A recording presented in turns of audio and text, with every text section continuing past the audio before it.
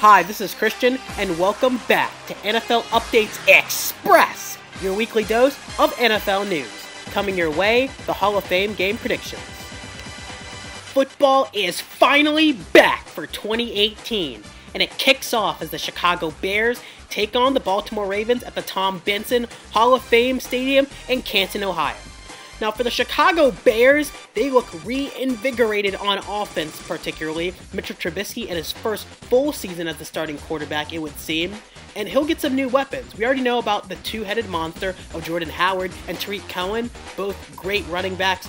Cohen, a third down back, gets passes out of the backfield, and then the workhorse in Jordan Howard, of course. But they added some new weapons. In the draft, they added Anthony Miller out of Memphis. And then in free agency, they added Trey Burton, uh, the tight end part of the Philly special, as we know, in Super Bowl 52. Then Allen Robinson, the star receiver from the Jacksonville Jaguars. And Taylor Gabriel, a 5'8 slot receiver from Atlanta who made some big plays the past couple years. And so the Bears, I mean, I think they could be a pretty good team. Now, will they make the playoffs? That's going to be hard to do in a tough NFC division and conference, I should say. But you never know. I mean, 8 and 8 isn't out of the question, and they could be having a bright future sooner rather than later. Now, for the Ravens, they have some off-season additions of their own. Now, they pretty much destroyed their receiving corps and put in some new guys Willie Snead, Michael Crabtree, John Brown, replacing some of their other receivers that just couldn't get the job done. And disappointing receiver Breshad Perriman, who they drafted in the first round, maybe can get some action as well. But the Ravens, I mean, the big story here, Joe Flacco, I mean, he, he'll probably be starting, but I mean, you look at it, and Lamar Jackson, it's only a matter of time before he gets his due. They also have Robert Griffin III, who they added, but I don't see him being part of the long-term picture. Now, who will win this game? I'm not really sure. It's the preseason, so it's anybody's guess, but I'll take the Chicago Bears to win this one. For the rookie spotlight, let's take a look at Sony Michel out of Georgia and the New England Patriots first round draft pick. Now, the Patriots really haven't had a workhorse running back. I mean, they've had guys like LeGarrette Blount and Dion Lewis, James White, Brandon Bolden, BenJarvus Green-Ellis, if we go back that far, but they really haven't had the guy that just completely carries the load. And Bill Belichick might like it that way, and it could be that way. But I feel like Sony Michel has all the potential to be a star in this league if you give him 20 plus carries. He could be the next great running back. We talk about Saquon Barkley as the great running back for the Giants and well earned. But Sony Michel could be a diamond in the rough, even saying that being a first round pick. And if they give him the rock, I think he can perform very well.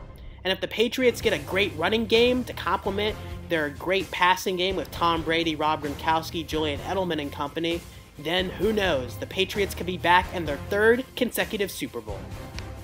Since we're on the topic of the Chicago Bears, the player of the week, Mitchell Trubisky, the UNC quarterback and Chicago Bears.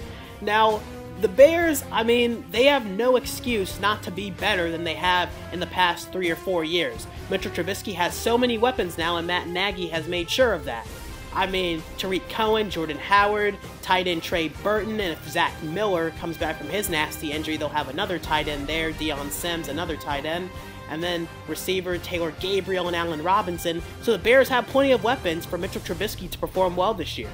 But this is his first full season and a first full 16 games, so who knows, he might have some more growing pains, and I think Bears fans and NFL fans in general should fully expect that. But the Bears need to take a step forward and show to their fans that they have a bright future. I think that will happen, and it will be because of Mitchell Trubisky and his progress through the year. For the few that watched the final episode of NFL Updates Express until next time, well, I surprised you guys. I said I didn't know if I was going to be making another video or not, but I am. It's the Hall of Fame game 2018. I'm excited to bring it to you, but I just wanted to promote my website here, Christian Clark Journalism, and you can find the link in the description. But basically, it's a lot of my work mostly about writing with my blog. You can also find some other NFL Updates Express episodes on here, some of my original photos, and a miscellaneous section as well. But the big part here is going to be about my blog, different NFL articles, my personal articles from UNC, and just the rest of my college experience. So hopefully you can check it out.